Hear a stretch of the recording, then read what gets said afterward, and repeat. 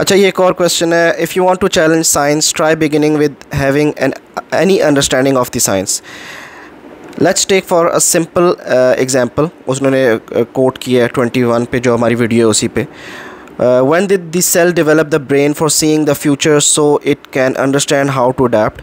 Only someone that has no understanding of evolution and uh, biology would ask such an insane question. The cell doesn't need a brain, doesn't need to see the future, doesn't need to know how to adapt. Each time a cell divides, or in other words, every member of every population in every generation has several mutations, none are identical clones of their parental cell. या मैं question समझ गया ठीक असल में ना ये this is a problem पहले तो मैं आपको I'm, I'm going to go a little technical मैं जान के टेक्निकलिटी में नहीं जाता because this channel is not a learning the science of things है this channel is to argument the philosophy लेकिन मैं आपको क्योंकि इन्होंने क्वेश्चन पूछा है so I am going to go into a little technicality कि मैं क्या कह रहा था। उस बाय द वे उस वीडियो में कॉन्टेक्चुअल क्वेश्चन uh, है कि when did the cell develop the brain to look into the future का मतलब है कि मैं जिस कॉन्टेक्स्ट में ये बात कर रहा हूँ वो है symmetry of the male and female to understand that you'll have to listen to the video over and over again आप सम समझ जाएँगे फ्यूचर का मतलब ये है कि how would you possibly put a a time line where the unicellular or even a you know a single cell to understand how to actually diversify itself into a lock and key uh, male and female which fit so perfectly with each other uh, let me just go into a little technicality because this is a question of biology and uh, when you are actually creating a context when somebody is creating a context तो उसके बाद एक basic सवाल ही पूछना पड़ता है so that people can actually be real in together मैं आपको इसका जो है ना सीरियल बता देता हूँ so that you can understand what my question what my argument is when it comes down to biology. The whole gener- uh, the linear equation of evolution is very simply defined, well as simple as they could make it, that it is from a the phylum Porifera to phylum Chordata. Now phylum Porifera is the initiation, and now we are phylum, you know, we are chordates with specifically peculiarly different female and a peculiarly different male. Now this is a preposterous assumption when you actually start to plot a journey from a Porifera to a chordata in terms of its reproduction capability or technique of reproduction. I'll go a little lower, uh, deeper. Mitosis is a way more efficient, well, let's not go into that kind of detail. Asexual reproduction is way more efficient, way more evident in porifera than uh, sexual reproduction, where we have more than a 99 to 1% ratio of how uh, you know these organisms reproduce asexually to an exception of sexual reproduction. However, in chordates, the sexual reproduction is way more prevalent than asexual. Actually, I'm talking about the whole animalia. So there is a a, a, a, a phylum, a, a, graph on which you can plot of how magnificent this this this uh, this type of reproduction is. I'm talking about the sexual reproduction.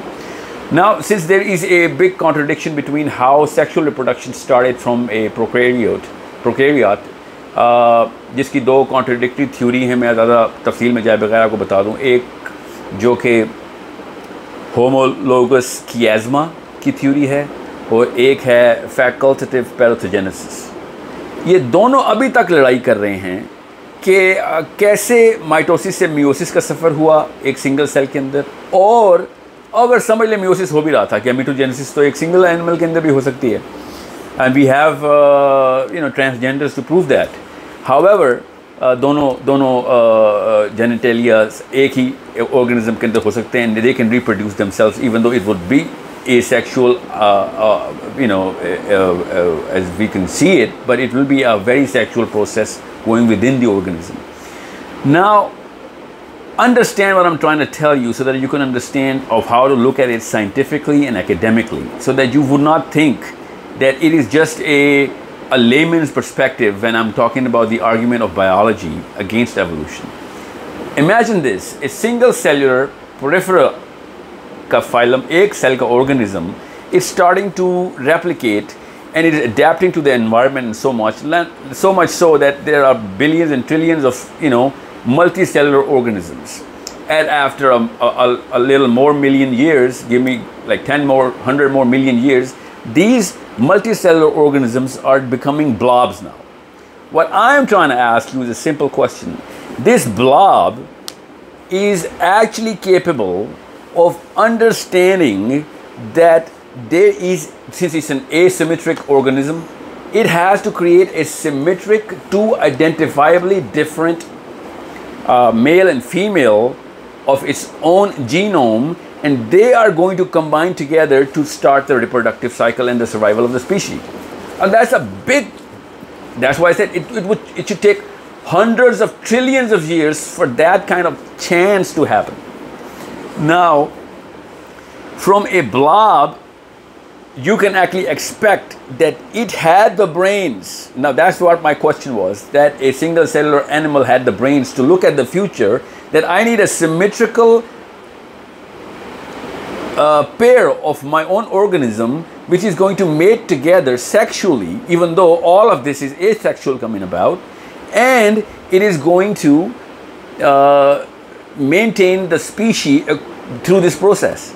Now, this is such an amazing assumption that unless you're suffering from a psychologically uh, a self-serving bias, which more Darwinistic people do, and they actually go into the bacteria and then see, then they see that there is a sexual process going in, a, a, a sexual reproduction uh, going on in bac at, at bacterial level, and then they extrapolate it to literally to primates. Now, this is what my argument is that at, the, at what stage of this organism, when it was a blob, it started to identify the need of a totally different female and a totally different male of an of the perfect symmetry to run around this planet. And on top of that when this process is going to happen there is going to be an oxytocic dopaminergic and vasopressic reaction which is going to give them pleasure. All of a sudden this blob is actually estimating all of those, you know, algorithms that we need a process. For that, we need two different uh, uh, families of individuals, even though in, I know it's the same family, but when it comes down to anatomy, it's a totally different structure that the female has. I'm talking about the reproductive organ organs only, and the male has. So I'm purposely not trying to use crude terminology here, so bear with me. This blob has the foresight to run the algorithms to create this sort of mechanism, which is in all primates. I'm talking about across the board. That's what my actual argument is. And this is such a big problem that this sort of pleasure from a sexual reproductive cycle is a cherry on the cake that some blob thought about it and now we the, this is one of the biggest games well actually the only game that was that has been played since adam till the last man that this is such a pleasurable and perfectly symmetrical and the core reason of survival of the species. This is why i said that this this is such a preposterous argument because it is not as efficient as an asexual reproductive cycle. We might as well have been just producing our own babies from our own selves. That is very evident ants. It is, I'm talking about the animals here, very evident in ants and even in some insects as well. Why couldn't we do it? And since they're uh, suffering from a self-serving bias, they, whenever it comes down to asexual reproduction, they all of a sudden go to the exception and they actually use ants as as an example since they are using asexual reproduction, you know, and ants are in billions and billions, trillions actually. Uh, this the the anthropods are the only dominant species on this planet. If we have to choose one species and call this this planet's you know uh, owner, that would be anthropods, not primates. we are less than, you know, four or four zeros behind the decimal when it comes down to the comparison behind uh, uh, arthropods. So they are still reproducing asexually. All of a sudden, primates come in and they start having sex, and they get the the the you know the whole argument based on the fact that the survival of the species is based on this one act alone. Even though from porifera to anthropoda, we do not have this sort of dominance of sexual reprodu sexually reproducing organisms. This is what the argument is. And this is why, after listening to all of this, I'm sure you now can understand, and any, anyone who's listening to this, that I don't go in technicality of science. Because these sort of arguments are useless for, a, for, for the general population. L forget understanding the argument, they can't even use it even if they understand it, just to try and settle their iman inside that, yeah, you know what, there is no evolution. That's why I said it is just a, it's, it's such a, you know, a, a, waste of time and a big distraction when it comes down to this. And people who do not know biology, they just uh, think that anything that the biologist or scientist is saying is true. Just because some scientist says something stupid does not make this thing scientific. It'll always remain stupid or baseless or naive or wrong even if somebody who is at a credible level with a lot of books behind him is saying that. So this is something which, which, uh, which uh, when I said, oh, a single cellular animal had the brains to see in the future and see where the survival of the species is going to be, and he had to adapt and create the perfect symmetry of genitalia, the process, and the chemistry, which is going to lead towards them coming together all the time. I hope this clarifies this, uh, this, uh, this, this, this little commotion going on in your brain.